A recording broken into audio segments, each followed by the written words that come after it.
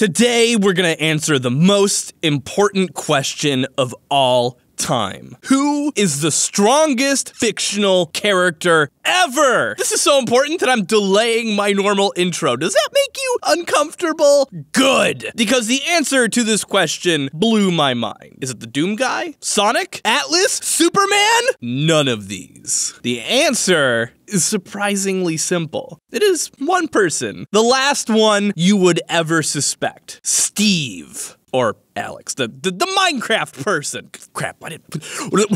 I'm so awkward without my intro, motherfucker.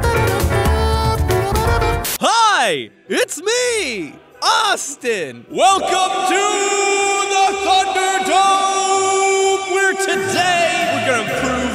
beyond a shadow of a doubt that the strongest person in all of fiction, period, the end, is this person. This knockoff Lego person with the square head. We're gonna prove it with the power of science! Are you ready? I'm ready. So let's get to it.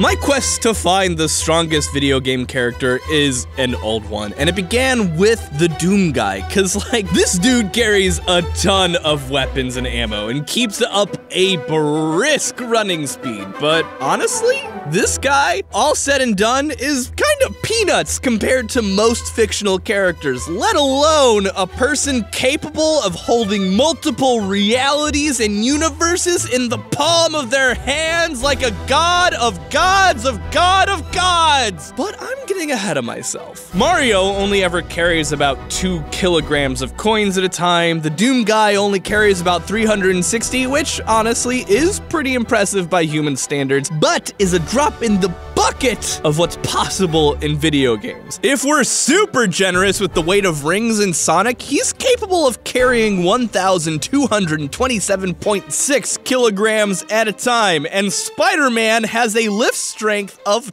10 tons. All of them are nothing. The Greek titan Atlas carried the entire world on his shoulders pretty consistently, which weighs over 5 septillion kilograms. Now we're cooking. Superman is about here because he's apparently bench pressed the earth before, but it gets worse or or or or better. Characters like Spectre, Galactus, and Super Tengen Toppa Gurren Laggett Laggett Lagat this guy exists on cosmic scales. And while we never see them compete in a deadlift competition, we can be pretty certain that they're strong enough to push entire stars without much issue. All, and I mean all of these characters pale in comparison to my girl Alex and my boy Steve. And we can prove it using the heaviest thing in all of Minecraft. Gold, blocks. Gold blocks are the heaviest objects in Minecraft, being a full cubic meter of gold, since each block in Minecraft is a cubic meter, which means each one of these things would weigh 19,300 kilograms, or over 42,000 1,000 pounds since the density of gold is 19,300 kilograms per cubic meter. Got it? Good, because it gets way crazier from here. The Minecraft protagonist can carry a lot of these things, and just being able to carry one already makes them stronger than Spider-Man and puts the character on par with the strongest heroes in all of comics and movies. Gold blocks can stack into piles of 64 blocks weighing over 1 million kilograms, and each of these stacks fits into one inventory slot. The protagonist of Minecraft has four rows of nine slots each, plus an extra spot in their hand, which can hold another stack of 64, making the number of stacks of 64 gold blocks total up to 2,368 cubic meters. A stack of gold that is this big and, no joke, is more gold than is currently or ever been in the total total gold reserves for every nation on Earth at over 45,000 tons. Yeah, boy! Show me the money. Yeah. Yeah. Uh. Come on. Never been around wealth. Now I'm surrounded. Nice cars at the mansion right next to the fountain. CEOs in business suits and private accountants. Yeah. Summertime parties by the pool.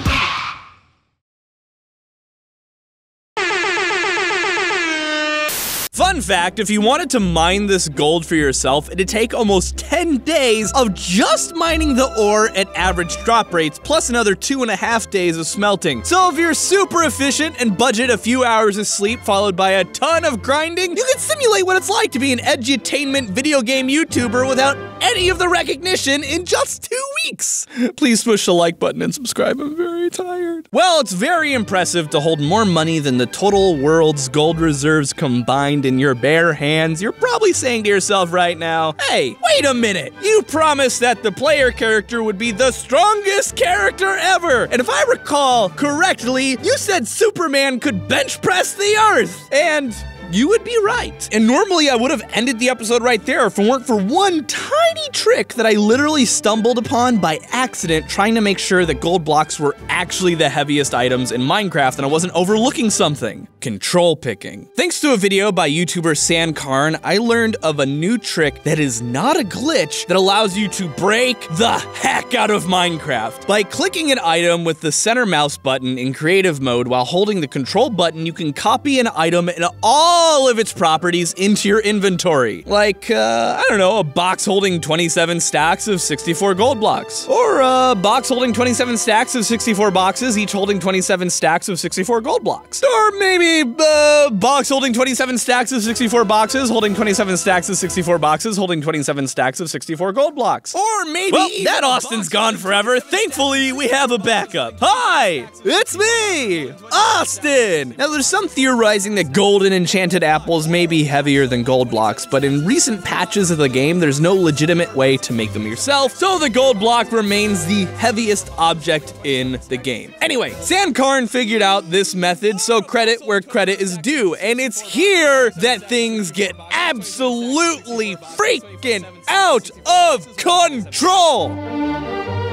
Now, it might seem that because of this method that there's an infinite number of gold blocks you can carry, but that's actually not the case. There's an actual limit programmed into the game for how many properties an item can have, and that limit is what's known as the named binary tag depth limit. For both TAG list and TAG compound, the limit is 512 bits, but chests take up 3 bits of this information, meaning that our actual limit is about 171. That's 171 nested layers of boxes with boxes with boxes with boxes with boxes with. Wow, seriously? This episode has an Austin kill count of 2? Good thing I have some number of backup Austins ready. Now, compared to the weight of the gold inside them, the weight of the boxes is negligible, so let's just focus on the gold. How much weight can our Minecraft person actually carry? The formula for the max capacity of one box is deceptively simple, but it will break most calculators. 64 times 27 to the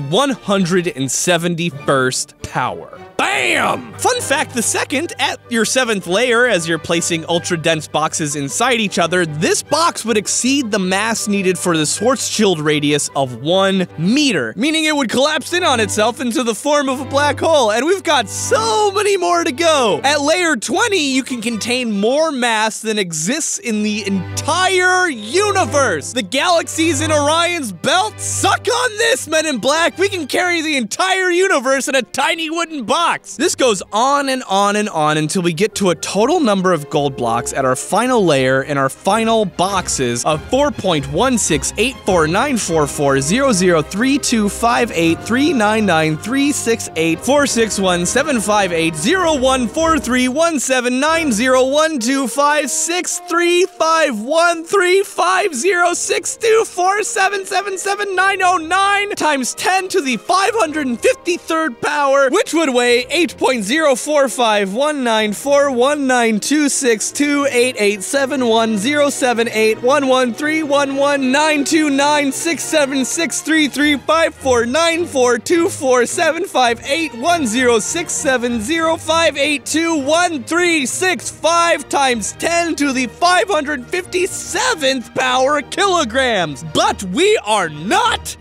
done because that is just one box at max capacity. These boxes can stack into a stack of 64. 2.6678 times 10 to the 555th gold blocks. But we're not done yet, because look at all these inventory slots. 27 plus 9 plus 1 stack in the offhand equals 37 stacks of 64 boxes, giving us a final number of gold blocks Stevex can carry of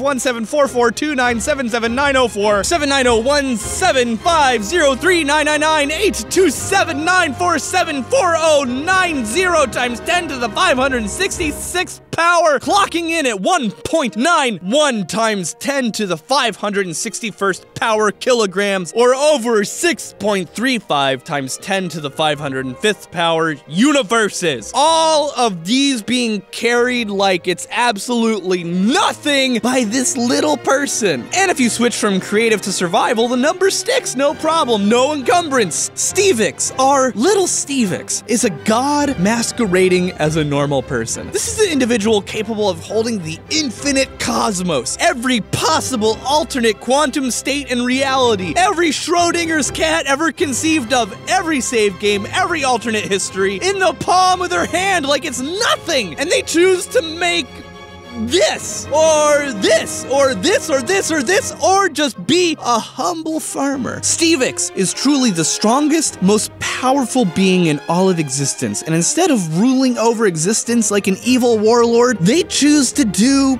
well, whatever they want. And I think there's a beautiful lesson there. Ultimately, what matters most in the world when you have all the options available to you is a peaceful, idyllic life, doing whatever you want, like a hobbit. A hobbit that also has to fight dragons and sometimes dumps lava into houses for no apparent reason. Okay, never mind. Don't use Steve or Alex's guides for your own life. Just fear them and praise, well, praise them that they haven't decided to erase our tiny box from existence just because they're bored. Sincerely, Austin.